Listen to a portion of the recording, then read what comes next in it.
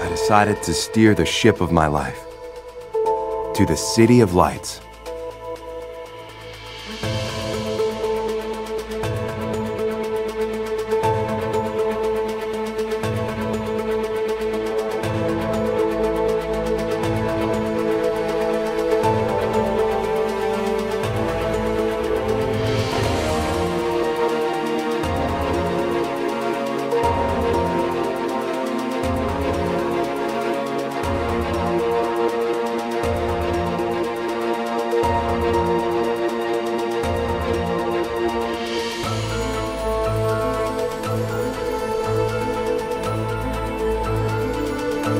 Was it a chance observer or a guardian angel?